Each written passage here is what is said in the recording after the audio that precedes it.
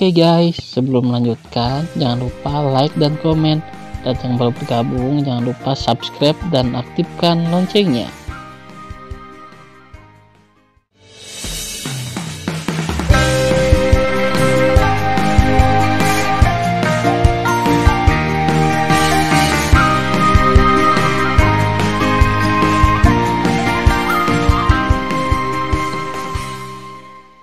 Episode 503. Melanjutkan cerita sebelumnya. Saat Tan Yun menampilkan tiga kekuatan magis dalam formasi pedang ilahi Hong Meng Tu, dalam sekejap, ada suara keras dari formasi pedang Hong Meng, dan aliran udara membunuh menyelimuti Murong Han. Tapi melihat segala arah Murong Han dalam kehampaan, Kekuatan kayu hijau seperti ular sanca raksasa, menonjol dari susunan pedang Hong Meng, terjalin seperti kilat untuk membentuk tangan raksasa terbuka dengan kekosongan yang retak. Tanpa peringatan, Murong Han dipegang di telapak tangannya. Kayu yang sangat kuat, Murong Han di tangan raksasa-raksasa itu terkejut. Jika dia tidak melarikan diri tepat waktu, dia mungkin akan hancur berkeping-keping. Hancurkan untukku. Empat kekuatan surga, kayu, air, dan api tubuh Murong Han meledak dan menghantam tangan raksasa itu. Tiba-tiba, tangan raksasa-raksasa yang dipegang erat-erat mulai membengkak. Setelah Murong Han mendapatkan kembali kebebasannya, dia memegang pedang terbang dan menari, dan cahaya pedang segera mengamuk, menghancurkan tangan raksasa-raksasa itu menjadi berkeping-keping. Kamu juga ingin berurusan dengan orang tua ini. Tan Yun, kamu hanya aneh, hahaha. Tawa ganas Murong Han tiba-tiba berhenti. Karena ketika dia memotong kayu yang patah dan keluar dari perangkap, jurang kematian Tan Yun, seperti titik cahaya hitam seperti sebutir beras, tiba-tiba naik dari atas kepala Murong Han dan berubah menjadi pusaran setinggi seratus ribu kaki, menelan dia. Pusaran air itu sehitam tinta dan sedalam jurang. Dalam pusaran seperti jurang, ada bilah kematian tak berujung yang panjangnya ratusan kaki, dan kecepatan cahaya berputar untuk menelan Murong Han yang tidak bisa mengelak. Apa? Ah! Murong Han berteriak seperti babi. Meskipun dia mematahkan bilah kematian yang keras dengan pedangnya, ada terlalu banyak bilah kematian. Ratusan luka tulang tertinggal di tubuhnya yang menghindar, seolah-olah dia sedang disiksa. Meskipun Murong Han mengerikan, tapi untungnya dia melindungi titik-titik vital tanpa cedera fatal. Murong Han, yang telah melambat, memiliki kekuatan empat atribut di tubuhnya yang mengalir ke pedang terbang di tangan kanannya. Sambil menghindari pedang kematian, dia melindungi poin-poin penting dan menarikan pedang dengan kecepatan tinggi. Tiba-tiba, ratusan pedang kekuatan surgawi mekar dari jurang kematian. Dandang. Ratusan pedang kekuatan surga memotong dan menghancurkan bilah kematian yang melonjak ke arahnya seperti gerombolan ikan di jurang maut, dan kemudian membombardir dinding jurang maut. Boom, boom. Murong Han seperti hantu ganas yang bergegas keluar dari tangki darah. Wajahnya ganas. Ketika dia mengira cara Tan Yun telah dihancurkan oleh dirinya sendiri, adegan yang mengejutkannya terjadi lagi. Wow, Murong Han seperti hantu yang bergegas keluar dari tangki darah. Dia memiliki wajah yang menyeramkan. Ketika dia berpikir bahwa metode Tan Yun dihancurkan oleh dirinya sendiri, adegan yang mengejutkannya terjadi lagi. Murong Han, yang berada di gelombang ruang spasial, merasakan kekuatan mengikat yang kuat dari segala arah, yang memperlambat kecepatan bergeraknya sebesar 20%. Dengan cara ini, keuntungannya menjadi lebih cepat dari Tan Yun, Sen Subing dan Nangong Yukin menghilang. Tidak hanya itu, tetapi juga sedikit lebih lambat dari Tan Yun. Subing, Yukin, kamu dengan cepat memasuki gelombang ruang dan bertarung dengannya. Tan Yun berteriak sambil memegang teknik pembunuhan ilahi Hong Meng, melayang di langit di atas gelombang ruang. Pada saat ini, Murong Han ingin melarikan diri dari puluhan ribu mil ruang angkasa dan kemudian melakukan serangan balik, dan begitu Tan Yun berpikir, gelombang ruang bergerak bersamanya di kehampaan. Murong Han menemukan bahwa dia tidak bisa melarikan diri sama sekali. Dan Tan Yun menginginkan hasil ini. Jika aku tidak bisa melarikan diri, aku akan hancur. Murong Han akan melakukan yang terbaik untuk mengalahkan gelombang ruang. Sen Subing, yang menampilkan Alkitab Ruang Waktu, dan Namong Yukin, yang menampilkan formula pedang Hong Huang, telah memasuki gelombang ruang spasial dengan pedang dan bertarung dengan Murong Han bersama-sama. Kedua putri berkelahi dengan Murong Han dalam gelombang ruang. Meskipun mereka tidak terpengaruh sama sekali, Murong Han masih memimpin. Jika ini terus berlanjut, putri kedua akan mati paling lama. Waktu yang deras. Tan Yun memiliki ekspresi serius. Dalam kekosongan dalam formasi pedang Hong Meng, semburan waktu setebal 1500 mil turun dari langit. Dengan kekosongan yang runtuh, itu meledak ke dalam gelombang ruang dan menelannya. Tiga orang dalam pertarungan sengit. Tan Yunai adalah penguasa formasi pedang ilahi Hong Meng Tu. Dengan satu pemikiran, Sen Subing dan Namong Yukin tidak bisa merasakan waktu yang tersapu. Sialan Tan Yun, apa kualifikasimu dan bagaimana kamu bisa mengendalikan begitu banyak atribut yang berbeda? Murong Han, dalam pertempuran sengit dengan kedua wanita, membuat raungan histeris. Tetapi melihat bahwa di bawah semburan waktu yang kejam, tubuh berdaging aslinya mulai memudar dengan kecepatan lambat. Engah.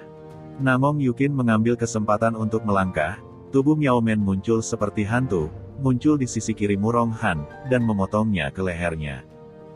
Memanggil.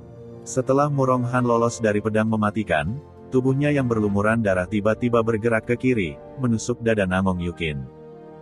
Namong Yukin melangkah mundur ke udara. Ketika dia memegang pedang dengan tergesa-gesa, Sen Subing telah membunuh Murong Han dengan pedang.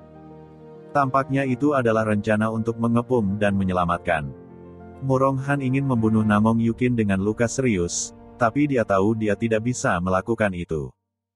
Karena dia telah terluka, jika lukanya semakin parah, bahkan jika dia membunuh Namong Yukin, dia akan tetap dikepung dan dibunuh oleh Sen Subing dan Tan Yun. Dia telah berlatih selama lebih dari 20 ribu tahun, dan akhirnya saya telah berkultivasi ke tingkat ketiga dari alam eklosion. Dia tidak boleh mati. Setelah mengambil keputusan, Murong Han menyerah untuk membunuh Namong Yukin, dia meraung, dan berusaha keras untuk membunuh Sen Subing. Dia telah menilai pada saat ini bahwa Namong Yukin tidak sekuat Sen Subing. Menurutnya, selama dia membunuh Sen Subing, dia tidak akan memiliki tekanan untuk berurusan dengan Tan Yun dan Namong Yukin. Tidak ada tekanan, Benarkah? Jika dia tahu bahwa Tan Yun lebih kuat dari Sen Subing, dia tidak tahu apa yang dia pikirkan. Murong Han menggunakan pedangnya untuk membunuh Sen Subing. Pedang itu rumit dan mematikan, dan Sen Subing merasa malu. Tan Yun, kau bajingan kecil telah melakukan segala yang mungkin, itu bagus. Kamu bisa menonton dan membunuh wanitamu. Murong Han mencibir berulang kali. Meskipun dia terluka, dia menjadi lebih berani dan lebih berani. Lakukan yang terbaik, bunuh wanitaku, percayakan saja padamu bajingan tua.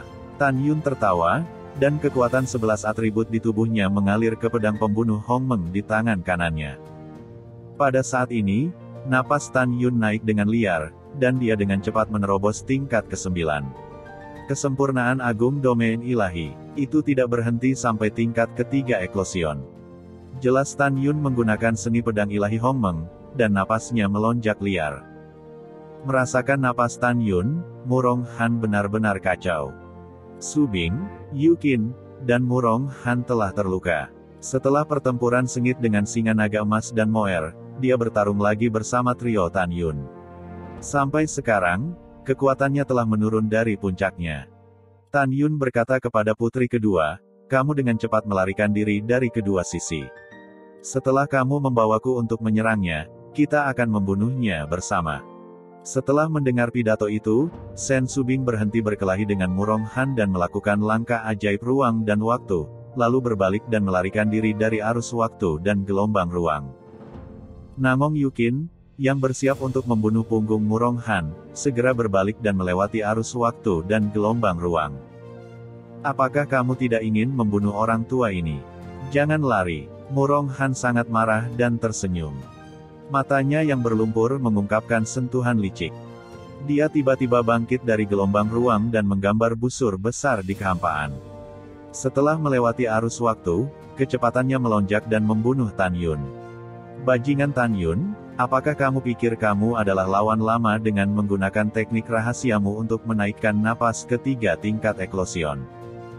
Kau orang pintar yang melebih-lebihkan kekuatannya. Aku akan membuatmu frustrasi dan membalaskan dendam cucuku Ningkang.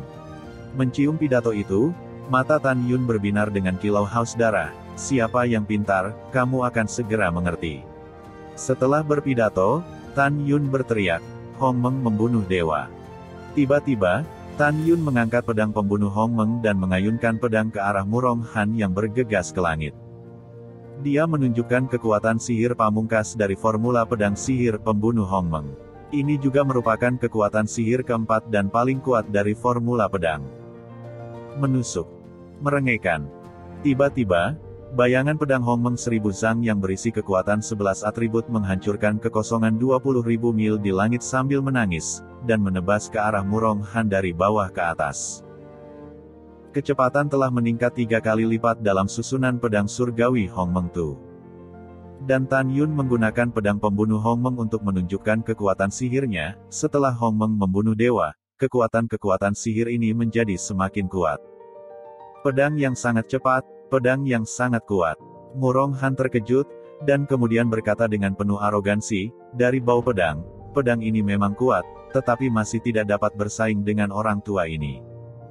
Tidak ada keraguan bahwa Murong Han adalah orang yang kuat. Dari nafas pedang Tan Yun, dia yakin pedang itu tidak bisa menyaingi dirinya sendiri. Selain itu, Murong Han tahu bahwa kecepatan pedang yang ditebaskan ke arahnya tidak dapat dihindari. Tidak peduli apakah pedang ini kuat atau tidak, saya harus melawannya. Hancurkan ke yang lama, Murong Han naik ke langit tanpa rasa takut, dan mengayunkan pedangnya yang paling kuat. Ledakan. Murong Han mengayunkan pedangnya, dan kekosongan itu segera runtuh, dan cahaya pedang terang sepanjang 3000 meter menebas ke arah cahaya pedang berkabut Hong Meng. Pedangnya mengandung dominasi emas, keuletan kayu, luasnya air, dan kekuatan api. Ledakan. Kedua pedang itu saling memukul dan meledak menjadi suara keras. Di mata Murong Han yang luar biasa, dia jelas merasa bahwa ketika bayangan pedang Hong Meng milik Tan Yun bertemu dengan 3000 pedang Zhang miliknya, nafas yang kuat meledak. Dia menyadari bahwa nafas bayangan pedang Hong Meng yang dia rasakan sebelumnya bukanlah kekuatan sebenarnya dari bayangan pedang Hong Meng. Wah, wah, wah. Pada saat berikutnya, setelah bayangan pedang Hong Meng mengalahkan pedang 3000 Zhang dengan momentum besar, momentum itu masih terputus di kepala Murong Han yang tak terhindarkan. Su, Ho. Murong Han terkejut. Dia berteriak, memegang pedang di tangan kirinya dan gagang di tangan kanannya, memegang pedang terbang tinggi-tinggi untuk memblokir. Ledakan. Ledakan. Dalam suara keras dan jelas pertama, pedang berkabut memotong bilah yang dipegang tinggi oleh Murong Han. Tiba-tiba, Murong Han tidak bisa memegang pedang di tangan kirinya. Cahaya darah tiba-tiba muncul, dan kedua jari tangan kirinya terpotong oleh pedang. Dalam suara tepukan tumpul kedua, bilahnya tidak tahan dengan benturan besar dan mengenai kepala Murong Han. Uff! Murong Han mengeluarkan seteguk darah dan merasa bahwa langit berputar, kulit kepalanya meledak untuk mengungkapkan tengkorak yang padat, dan jejak retakan muncul di tengkorak. Dan ada darah di mata, telinga, dan hidungnya. Pada pandangan pertama, itu terlihat menakutkan. Subing dan Yukin pergi bersama. Langkah ilahi Hong Meng. Tan Yun mengambil langkah di udara di bawah, bergegas ke gelombang ruang dalam sekejap, muncul di atas kepala Murong Han, dan menebas Murong Han dengan pedang. Ah! Murong Han mengalami sakit kepala yang membelah, dan ketika dia menghindar ke samping, seluruh telinga kiri dan lengan kirinya terpotong dalam semprotan darah. Orang tua itu berkelahi denganmu. Murong Han mengguncang jantungnya, Tubuhnya tiba-tiba bergerak beberapa kaki, dan tangan kanannya memegang pedang untuk menembus dada kanan Tan Yun. Dalam gelombang ruang, kamu tidak secepat Lao Su. Kamu masih terluka parah. Apa yang bisa kamu lawan dengan Lao Su? Tan Yun menguraikan lengkungan di sudut mulutnya. Sambil menggerakkan satu kaki ke kiri dalam gelombang ruang, tangan kanannya tiba-tiba terentang dan meraih pergelangan tangan kanan Murong Han memegang pedang seperti kilat. Pergi ke neraka, Tan Yun. Murong Han meraung, pisau terbang keluar dari mulutnya dan meledak ke tenggorokan Tan Yun. Apa? Dengan meringis, di mata Murong Han yang ketakutan, senjata abadi tingkat rendahnya tidak menembus tenggorokan Tan Yun. Tan Yun. Apakah kamu manusia? Murong Han meraung dengan punggung dingin, mengapa tubuhmu begitu keras? Hal-hal lama, kamu bisa menjadi dewa, aku tidak keberatan. Tan Yun mencibir, lehernya bergetar, dan di mata Murong Han yang bergejolak, pisau terbangnya dihancurkan oleh Tan Yun. Kemudian, Tan Yun mencengkeram pergelangan tangan kanan Murong Han yang memegang pedang dengan tangan kanannya, dan menariknya dengan keras. Murong Han berteriak, merobek seluruh lengannya tiba-tiba. Tidak, ah. Murong Han, yang kehilangan tangannya, mengeluarkan tangisan yang mengerikan. Dia berbalik dan terbang ke kiri dengan putus asa, mencoba melarikan diri dari gelombang ruang. Wash. Namong Yukin memegang pedang primordial, melewati sisi Murong Han dengan dingin, dan mengayunkan pedang ke pinggang Murong Han. Kaki tua, Murong Han melompat ke langit dan tidak bisa menghindar, dan kedua lututnya dipotong oleh pedang. Kedua anggota badan yang tersisa menyemburkan darah dan terbang menjauh dari tubuh. Engah. Sen Subing berkedip di udara dan muncul di belakang Murong Han dalam sekejap. Bilah tajam sebening kristal dengan gumpalan darah menembus punggung Murong Han dan keluar dari dadanya menuju jantung. Wah, wah, Murong Han menyemprotkan tiga suap darah berturut-turut, dan jatuh bergoyang ke dalam kehampaan, meraung ke langit, bahkan jika lelaki tua ini akan mati, dia harus menarik kalian bertiga kembali. Semua mati dengan yang lama. Begitu kata-kata Murong Han jatuh, fitur wajahnya berubah dan seluruh tubuhnya membengkak dengan cepat. Tidak baik, Tan Yun terkejut, Yukin, Su Bing, dia ingin meledakkan kolam spiritual, kalian terbang ke arahku. Dengan itu, ukuran Tan Yun melonjak 200 kaki dan terbang ke putri kedua. Wajah putri kedua berubah dan terbang di depan Tan Yun. Tan Yun membuka tangan kirinya dan memegang Namong Yukin di telapak tangannya.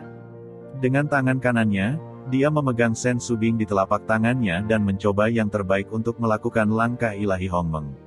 Setelah mengangkat formasi pedang Hongmeng Tu, seluruh kepala Murong Han meledak ketika dia baru saja melarikan diri ribuan mil dari kehampaan di utara. Ledakan tingkat tiga alam eklosion, Kekuatannya sebanding dengan pukulan penuh dari tingkat 6 eklosion. Bagaimana Tan Yun tidak takut? Dari langit yang luas, pemandangan yang mengejutkan terjadi.